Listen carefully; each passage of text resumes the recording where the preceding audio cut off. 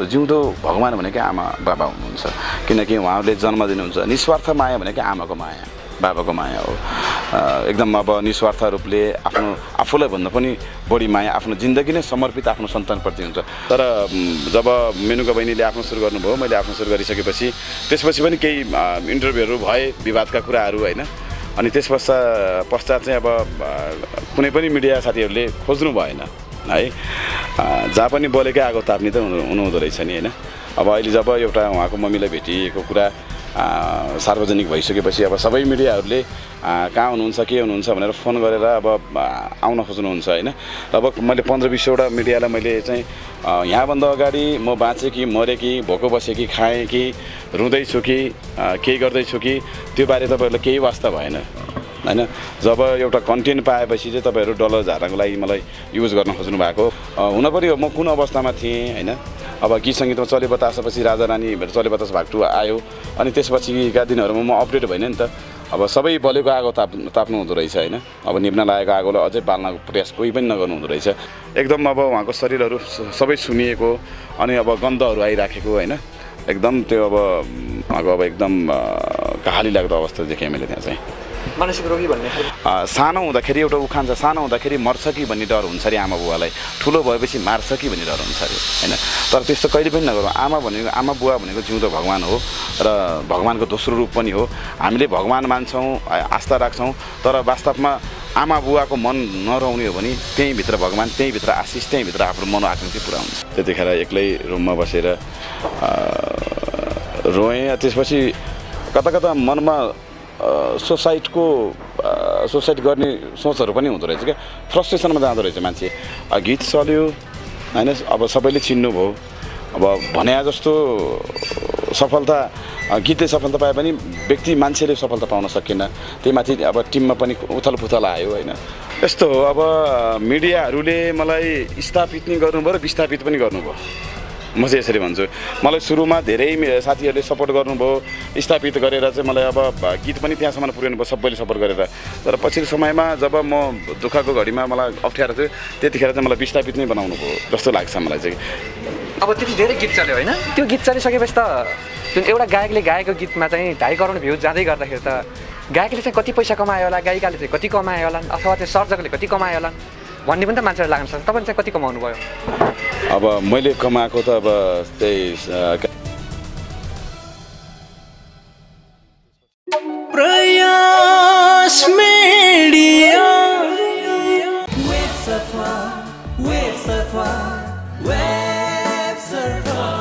Web surfer घर घरमा fibre internet र TV service contact zero one five nine seven zero triple two for more details visit W W W dot web surfer dot com dot NP दर्शकबिन तपाईँले हाइलाइट्समा थाहा पाइसक्नु भएको छ। आज हामीसँग गायक सीताराम परियार हुनुहुन्छ जसले दस वर्षदेखि हराइरहनु भएकी मेनुका परियारकी आमालाई पछिल्लो समयमा रेस्क्यु गरेर मिडिया समक्ष र उहाँको दिदी समक्ष पुर्याउनु भएको छ। र उहाँले कुन अवस्थामा भेट्नुभयो उहाँले कसरी उहाँलाई भेट्नको लागि कसरी कुन माध्यम मार्फत सीतारामजीले भेट्नुभयो र पछिल्लो समयमा सीताराम परियार के के गर्दै हुनुहुन्छ के काममा व्यस्त हुनुहुन्छ धेरै समय भयो हाम्रो मिडियामा पनि नआएको। उहाँको गीत सङ्गीतको यात्रा समग्र उहाँको जीवन यात्रा के कसरी अगाडि बढिरहेको छ यो भिडियोमा हामी त्यो विषयमा पनि केन्द्रित रहनेछौँ। सँगसँगै मेनुका परिवारको आमाको पछिल्लो अवस्था अहिले कहाँ हुनुहुन्छ? अब इन्द्रिणी लैजाने कुरो पनि थियो। अब के के भइरहेको छ यो विषयमा पनि केन्द्रित रहनेछौँ। म स्वागत गर्दछु। सीतारामजी स्वागत छ धन्यवाद नमस्ते। सर्वप्रथम त यहाँलाई हामी एकदमै मुरी मुरी धन्यवाद दिन चाहन्छौँ जसले सिद्धराम परियारले मेनुकाको आमालाई रेस्क्यु गरेर एउटा तपाईँले जसरी आ, छोरीको साथमा एउटा भेटाउने पहलको लागि तपाईँ चाहिँ लागि परिरहनु भएको छ। तपाईँलाई धेरै धेरै धन्यवाद छ। यहाँहरूलाई पनि विशेष धन्यवाद दिन चाहन्छु। र मैले एउटा मानवले गर्नुपर्ने धर्म अनि सेवा मात्र गरेको हुँ। जे होस् खुसी छु म। अब सुरुवातदेखि नै जाउँ। कसरी उहाँलाई भेट्नुभयो? कुन माध्यम मार्फत तपाईँलाई कसैले फोन गर्यो कि? अथवा तपाईँले बाटोमा हिँड्दै गर्दा देख्नुभयो कि? कसरी मेनुकाको आमा समक्ष पुग्नुभयो? यो कुरा छर्लङ्ग। यो विषयमा मलाई यहाँभन्दा अगाडि पनि धेरै ठाउँबाट मेनुको मेनुको परिवारको मम्मी गोर्खामा भेटियो पनौतीमा भेटियो धेरै ठाउँमा भेटियो भन्ने कुराहरू आयो तर उहाँहरू सबै ती कुराहरू चाहिँ फेक भयो फोटो पठाउँदाखेरि होइन है। होइन रहेछ र पछिल्लो समयमा चाहिँ मैले मलाई पनि एउटा चिन्ताको विषय पनि राखेको थियो। उहाँलाई कसरी भेटाउने होला? उहाँलाई कसरी चाहिँ अगाडि छोरा छोरीहरूको अगाडि ल्याउने होला भन्ने चाहिँ एउटा चिन्तन थियो। र पछिल्लो समयमा चाहिँ मलाई इन्द्रिणीबाट फोन आएको थियो। छ बजीतिर बिहानमा। म दोरीबाट आएर नसुतिकन त्यो भिडियोहरू हेर्दै थिएँ। अनि त्यतिखेर फोन गर्नुभयो अनि मेनुको परिवारको मम्मी भेटिएको छ अरे। एकचोटि हो कि होइन फिक्स गर्नु होला। तपाईँ जानु होला। किनकि मेनुकासँग सम्बन्धित भएको मान्छेले मान्छे भएको कारणले हामीले तपाईँलाई खबर गरेका हौँ भन्ने हिसाबले भन्नुभयो। त्यसपछि चाहिँ मलाई चाहिँ त्यहाँबाट ताराबहादुर गुरुङ अ, एकजना भाइले फोन गर्नुभयो। फोन गरिसक्नु भएपछि अनि मैले यहाँहरूलाई पनि जानकारी गराउन खोजेको थिएँ तर मैले मेरो सेट चेन्ज भएको कारणले नम्बरहरू भेटिनँ। मैले हाम्रो कमल अ, जी अनि मिलन भाइलाई फोन गरेको थिएँ अनि उहाँहरू आउनुभयो। उहाँहरू हामी आउँदै गर्छौँ तपाईँ हिँड्दै गर्नु सर भन्नुभयो अनि म त्यहाँ गएँ। तारा बहादुर गुरुङ भाइले फोन गरिसकेपछि म त्यहाँ गएँ। अनि त्यहाँ पुगिसकेपछि उहाँलाई एक्कासी पेटीमा के खाइरा राख्नु भएको थियो क्या? एकदम त्यो देख्दै टिस लाग्दो अवस्थामा हुनुहुन्थ्यो। अनि म झ्याप्प त्यहाँ पुगिहालेँ। अनि त्यहाँ पुगेपछि उहाँहरूको त्यो जुन त्यहाँको वातावरण देखेपछि त्यहाँको मेनुका परिवार बहिनीको आमाको त्यो हालत देखेपछि चाहिँ म पनि केही बोल्नै सकिनँ। निशब्द भएँ उहाँलाई हेरेको हेरेँ भएँ उहाँ उहाँले पनि मलाई हेरेको हेरेँ हुनुभयो। न त उहाँले मलाई चिन्नुहुन्छ होइन? न त मैले पनि उहाँ मेनुका परिवारकै आमा हो भनेर अब मलाई पनि ग्यारेन्टी त छैन नि होइन? खै के सोचले हेर्नुभयो उहाँले? एकरो हेरिरहनु भयो मैले हेरेपछि उहाँले एकरो हेरिरहनु भयो अनि त्यसपछि मैले सोधेँ आमा मलाई चिन्नुहुन्छ? भने मन्टो हल्लाउनु भयो चिन्दिनँ भन्ने कुरा गर्नुभयो। अनि त्यसपछि उहाँको जुन त्यो पहिला माइती एकै ठाउँ भएको मान्छे हामी सँगै मेलापात दाउरा घाँस गरेको मान्छे हो रामकोट हो माइती उहाँको धादिङ रामकोट अनि घर खरी हो हामी सँगै हिँडेको मान्छे हो मेनुका परिवारकै आमा हो भन्नुभएपछि अनि त्यसपछि मैले उहाँहरूलाई पनि जानकारी गराएँ अनि कमल बस्ने सरले चाहिँ अब जुन खरी हो उहाँको घर त्यहाँको वडा- अध्यक्षज्यूसँग पनि कुरा गर्नुभयो उहाँले खुलेर कुरा गर्नुभयो र उहाँको अवस्था चाहिँ एकदम अब उहाँको शरीरहरू सबै सुनिएको अनि अब गन्धहरू आइराखेको होइन? एकदम त्यो अब उम्, भयावहनक भ- भया भयानक नै अवस्था थियो क्या त्यहाँ? उहाँको अब एकदम कहाली लाग्दो अवस्था देखेँ मैले त्यहाँ चाहिँ। मानसिक रोगी भन्ने खालको कुरो पनि आएको छ नि चाहिँ के मानसिक रोगी पूर्ण रूपमा त होइन जस्तो लाग्छ मलाई पनि। कतिपय कुराहरू सही बोल्नुहुन्छ होइन? कतिपय कुराहरू चाहिँ अब तपाईँ मेनुका परिवारको आमा हो भन्दाखेरि खै होला? भन्ने जस्तो कुराहरू सम्भावना कुराहरू गर्नुहुन्छ होइन? लगभग मलाई जहाँसम्म लाग्छ सत्तरी पर्सेन्ट चाहिँ उहाँको मानसिक अवस्था ठिकै छ। तर तिस पर्सेन्ट चाहिँ उहाँलाई अब विभिन्न तनावहरू टचरहरूले गर्दा होला सायद अ, के हदसम्म चाहिँ मानसिक अवस्था पनि अलिकति गुमेको छ जस्तो लाग्यो। मनमा चाहिँ कस्तो लाग्यो? जुन अवस्था देख्नुभयो देख्ने बित्तिकै तपाईँ चाहिँ के सोच्नुभयो अनि मनमा कस्तो लाग्यो?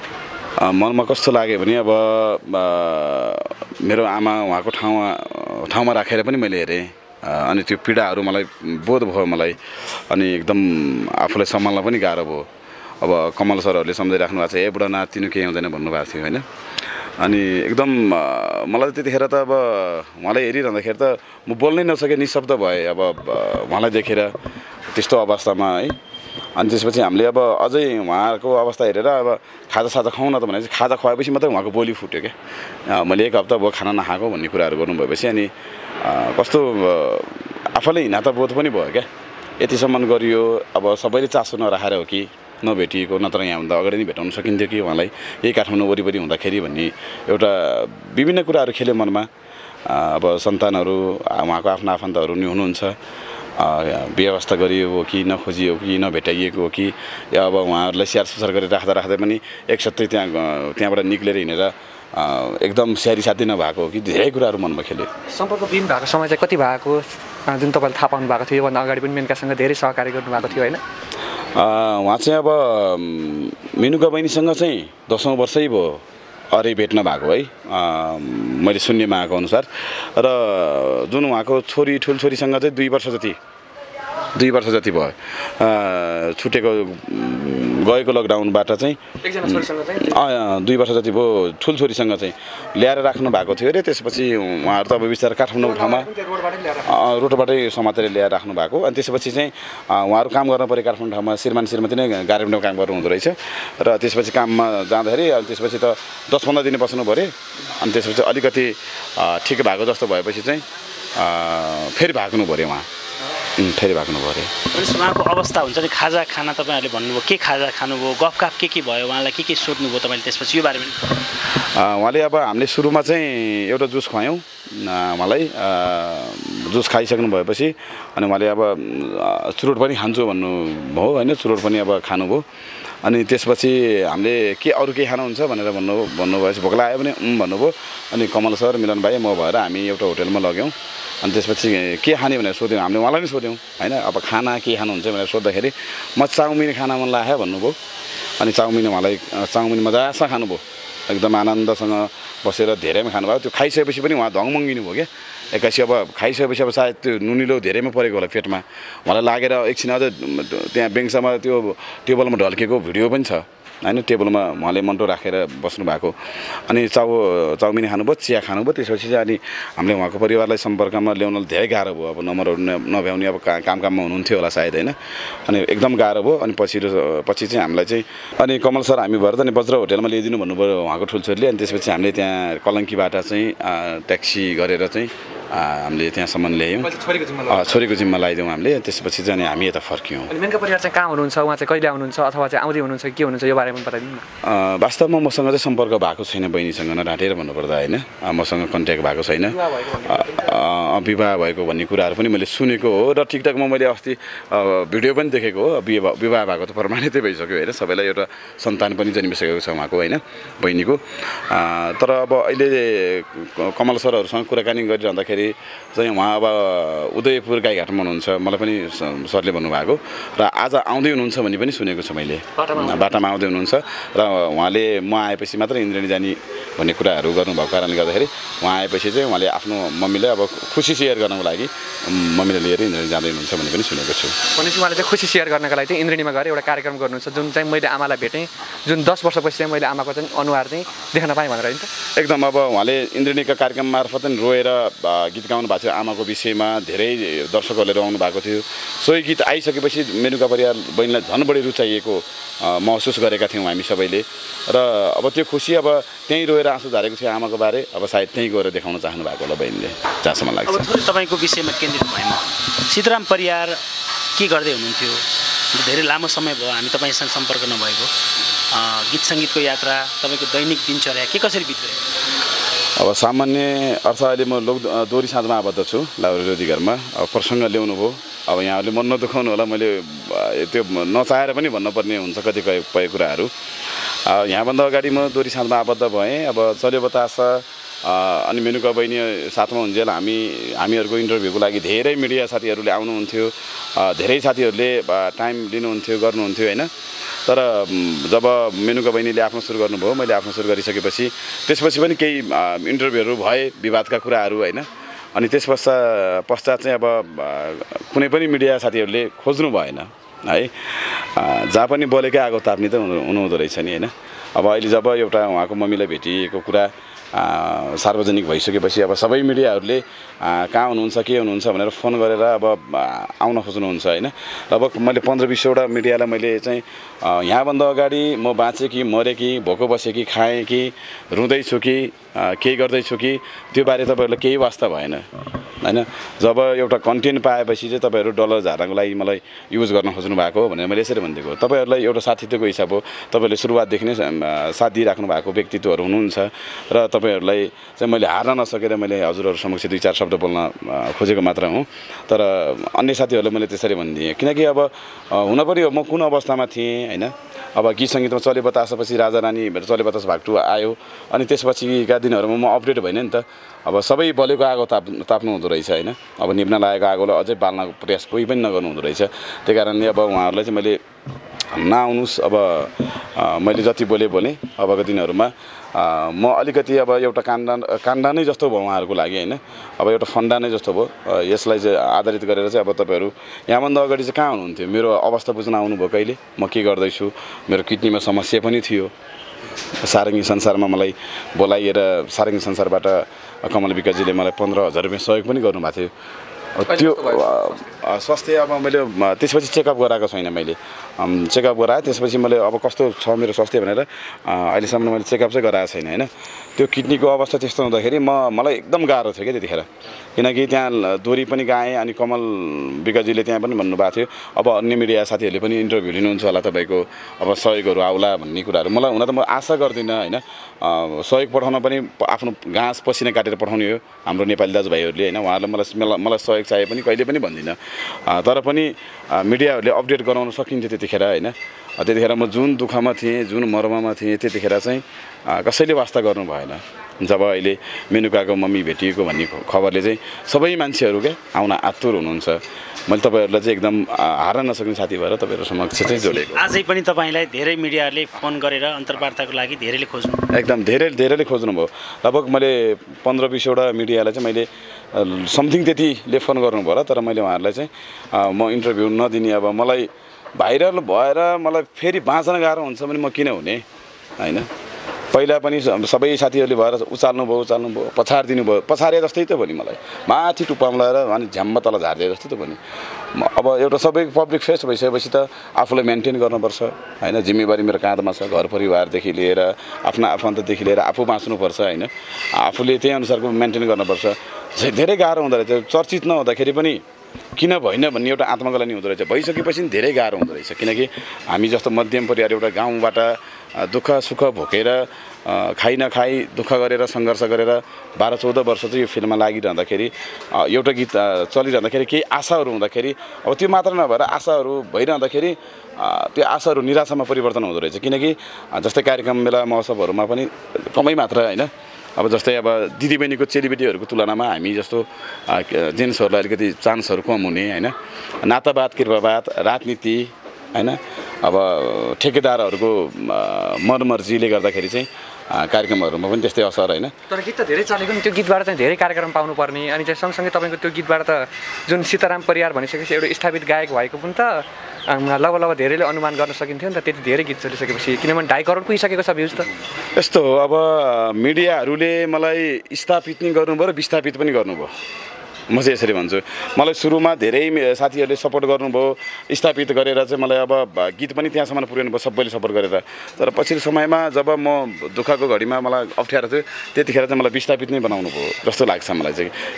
अब त्यति धेरै गीत चल्यो होइन? त्यो गीत चलिसकेपछि त जुन एउटा गायकले गाएको गीतमा चाहिँ ढाई करोड भ्युज जाँदै गर्दाखेरि त गायकले चाहिँ कति पैसा कमायो होला गायिकाले चाहिँ कति कमायो होलान् अथवा चाहिँ सर्जकले कति कमायो होलान् भन्ने पनि त मान्छेहरू लाग्न सक्छ। तपाईँले चाहिँ कति कमाउनु भयो? अब मैले कमाएको त अब त्यही के अरे ढाई करोड जनताको माया कमाएँ। अनि त्यसपछि अब मैले जुन सपना थियो त्यो सपना पुरा भएँ होइन त्यो सपना कमाएँ। अब आर्थिक अवस्थाको हिसाबमा चाहिँ मैले कस्तो भने पहिल्यै बाचा गरिसकेको थिएँ। म बोलीमा नचुक्ने मान्छे। किनकि बरु आफू भोको बस्न परोस् दुई तिन साग। तर म एकचोटि दिएको वचन कहिले पनि फेर्दिनँ। हाम्रो सहमति थियो। बिस लाखभन्दा माथि गयो भने टु गर्नुपर्छ। त्यहाँबाट मलाई मतलब भने जति गर्ने भन्ने थिएँ। अनि गोविन्दजीले चले बतास टु गीतलाई अडियो भिडियो सबै उहाँले लगानी गरिदिनु भयो। र अब अप्ठ्यारोहरूमा केही सपोर्टहरू गर्नुभयो गोविन्दजीले।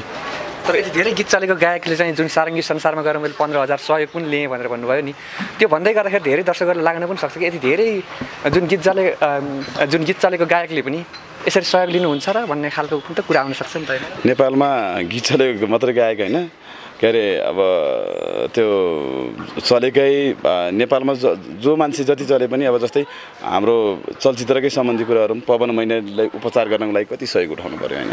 हाम्रो नेपाली समाज अनि अब नेपाली को चलनै त्यस्तै छ। जति जे भए पनि त्यही हुँदो रहेछ लास्टमा। तर जे होस् मैले गरेको बाचा त्यो सबै पुरा भयो।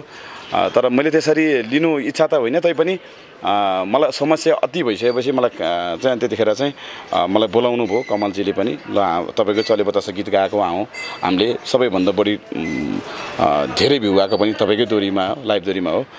चले बतासाबाटै गएको छ। हामी तपाईँले केही सहयोग गर्छौँ। एउटा दोरी पनि राख्छौँ निशा रणपालो बहिनीसँग। आउनुहोस् भनेर अनि त्यसपछि गएको। त्यो बिचमा जो बिरामी हुनुभयो किडनीमा समस्या तपाईँले पत्थरीको भन्नुभयो त्यो बेला कसैको साथ नपाउँदा धेरै दुःखी हुनुभयो।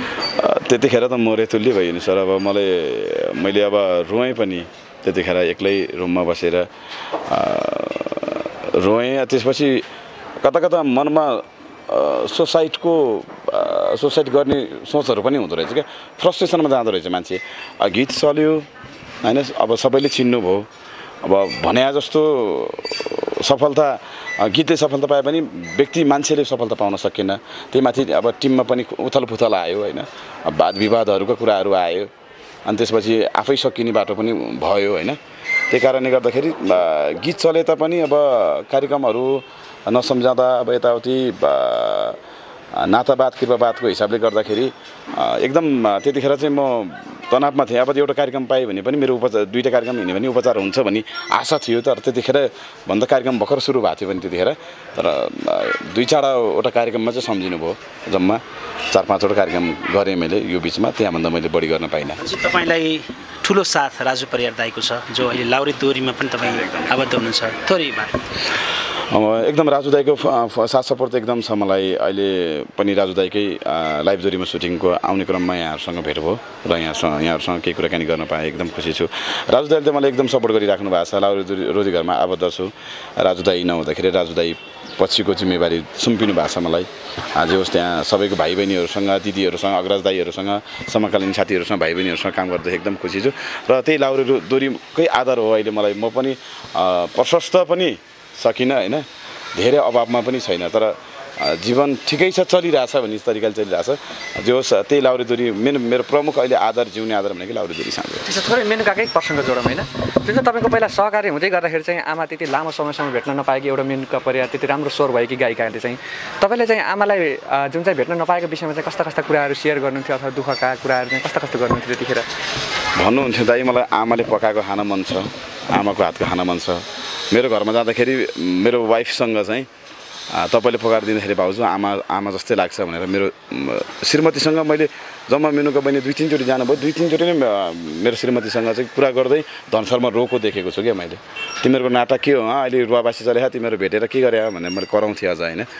तिनीहरूलाई तनाव नहोस् भनेर। तर मेरो श्रीमतीसँग पनि कहाँमा घोप्टेर रहेको? धेरै पलहरू छ उहाँ। अब बहिनी चाहिँ मेरो आमा आमाको याद मेटाउनु भयो भाउजू भनेर धेरै पल रुनु भएको छ अब काठमाडौँ मेनुका आइसके पछाडिको भनौँ न आमालाई के गर्ने कसरी राख्ने कसरी व्यवसित गर्ने केही यो विषयमा केही छलफलहरू अथवा केही तपाईँलाई जानकारी यो विषयमा खासै त्यसो मसँग छलफल चाहिँ भएको छैन। अब बहिनी आउँदै हुनुहुन्छ भन्ने सुनेको छु मैले। अब आउनु हुन्छ होला सायद। अब बहिनीलाई मैले एउटा मानवताको धर्म चाहिँ पुरा गरेको हुँ। उहाँको आमा भेटिएपछि उहाँको दिदीसम्म पुर्याउनको लागि मिडियाका साथीहरू गोविन्द पङ्गेनी त्यसै गरी हाम्रो कमल बस्नेत हामी मिलन भाइले सपोर्ट गर्नुभयो। त्यहाँ जिम्मा लागिएको छ। अब उहाँहरूले आवश्यकता पर्छ सीताराम पनि चाहिन्छ हामीलाई। सीतारामको पनि साथ सपोर्ट चाहिन्छ होला। सीताराम पनि कुनै बेला सपोर्ट गरेको मान्छेहरू अझै पनि सपोर्ट चाहिन्छ भनेर सम्झाउनु भएछ भने उहाँको मम्मीको उपचारको लागि हामी पनि लागि परेर खटिने छौँ। म पनि आफ्नो व्यक्तिगत मसँग भएर होइन मन ठुलो सबैभन्दा। मन ठुलो फराकिलो बनाएर मसँग सक्दो सपोर्ट आर्थिकदेखि लिएर हरेक कुराहरूमा मैले सकेको सपोर्ट गर्नेछु होइन? अब उहाँहरू हामी आफै गर्न सक्छौँ। अब भन्ने कुराहरू गर्नुभयो भने चाहिँ अब मैले गर्ने धर्म चाहिँ ला जहाँसम्म उहाँको भेटाउनु थियो त्यति भेटाइसकेको छु। अब बाँकी इन्द्रेणी लानुहुन्छ भने जाने बेला पनि सम्झाउनु भएछ अब जाने वातावरण भएछ भने चाहिँ अब पक्कै पनि। जानेछु नत्र अब उहाँहरूले गर्नुभयो भने ठिकै छ। म पनि यता आफ्नो कार्य व्यस्तता यता लाउरे रोजी घरमा काम गरिरहँदाखेरि अनिदो यताउति हुन्छ त्यही कारणले गर्दाखेरि उहाँहरूले जसरी गर्नुहुन्छ त्यसरी त्यसैमै खुसी छु म चाहिँ। ठिक छ अनि चाहिँ जुन बेनका परिवारको आमा भनेको पनि आमा भन्ने शब्द मान हुन्छ होइन हाम्रो पनि आमा हो।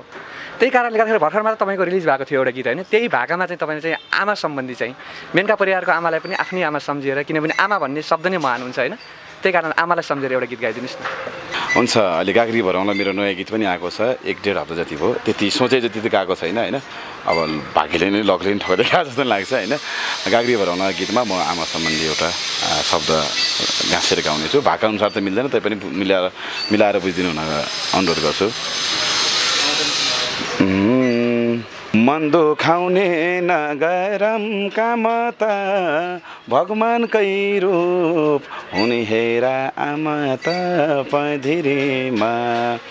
नगरम काम त भगवान्कै रूप हुने हेरा आमा त पधिरीमा भोलि बिहानै आऊ सानो गागरी भरौँला। पिरतीका मिठा मिठा कुरा गरौँला। ए पिरतीका मिठा मिठा कुरा गरौँला। यो आमा भन्ने यति महान शब्दलाई चाहिँ तपाईँले कसरी हेर्नुहुन्छ? किनभने मेनका परिवार जस्तो एउटा एकदमै मिठो सुमधुर स्वरकी ध्वनि गायिकाको आमा चाहिँ त्यस्तो अवस्थामा भेट्दै गर्दाखेरि होइन सबैले चाहिँ आमा भन्ने शब्दलाई ज जसले पनि आमा भन्ने बित्तिकै होइन मेरै आमा हो भन्ने चाहिँ त्यो शब्दले चिनाउँछ होइन। तपाईँ चाहिँ त्यो आमा भन्ने शब्दलाई चाहिँ कसरी बयान गर्नुहुन्छ? आमा भनेको जिउँदो भगवान्। म त्यसरी लिन्छु आमा मान्छे आमालाई जसरी हामीले हेला गर्छौँ रुवाउँछौँ नि त्यो एकदम गलत हो। जिउँदो भगवान् भनेकै आमा बाबा हुनुहुन्छ। किनकि उहाँहरूले जन्म दिनुहुन्छ निस्वार्थ माया भनेकै आमाको माया। बाबाको माया हो। एकदम अब निस्वार्थ रूपले आफ्नो आफूलाई भन्दा पनि बढी माया आफ्नो जिन्दगी नै समर्पित आफ्नो सन्तानप्रति हुन्छ। मलाई यहाँसम्म ल्याउनको लागि मेरो आमाले कति दुःख काट्नुभयो र मेलामा गएको खाजा आफ्नो घाँस काटेर पोल्ठामा पोको पारेर ल्याएर पनि खुवाउनु भएको क्षणहरू पनि मलाई उदाहरणका लागि अनि जोसुकै आमा होइन त्यसरी काटेर हुर्काउनुहुन्छ बढाउनुहुन्छ। सानो हुँदाखेरि एउटा उखान छ सानो हुँदाखेरि मर्छ कि भन्ने डर हुन्छ अरे आमा बुवालाई। ठुलो भएपछि मार्छ कि भन्ने डर हुन्छ अरे होइन? तर त्यस्तो कहिले पनि नगरौँ। आमा भनेको आमा बुवा भनेको जिउँदो भगवान् हो र भगवान्को दोस्रो रूप पनि हो। हामीले भगवान् मान्छौँ आस्था राख्छौँ तर वास्तवमा आमा बुवाको मन नरहुने हो भने त्यहीँभित्र भगवान् त्यहीँभित्र आशिष त्यहीँभित्र आफ्नो मनोआकाङ्क्षी पुरा हुन्छ। मान्छे यसरी लिन्छ जस्तै छ तपाईँसँग कुराकानी गर्न पाइयो। थोरै मेनका परिवारका आमालाई चाहिँ भेटिएको लामो समयपछि भेटेको विषयमा पनि थोरै कुराकानी छर्लङ्ग पार्न पाइयो होइन? र तपाईँको थोरै गीत सङ्गीतको बारेमा पनि कुराकानी गर्न पाइयो र चाहिँ सीताराम परिवारले चाहिँ हिजो आज के गर्दैछन् भन्ने विषयमा पनि थोरै कुराकानी गर्न पाइयो। धेरैभन्दा धेरै खुसी लाग्यो र चाहिँ आउने दिनमा पनि तपाईँसँग जोडिरहनेछौँ। जुन तपाईँले भन्नुभएको थियो जुन चाहिँ दुखेसो पोख्नु भएको थियो त्यस्तो पक्कै पनि हामीले गराउने छैनौँ होइन? अन्तिममा जाँदा जाँदा दर्शक श्रोताहरूलाई के भन्नुहुन्छ?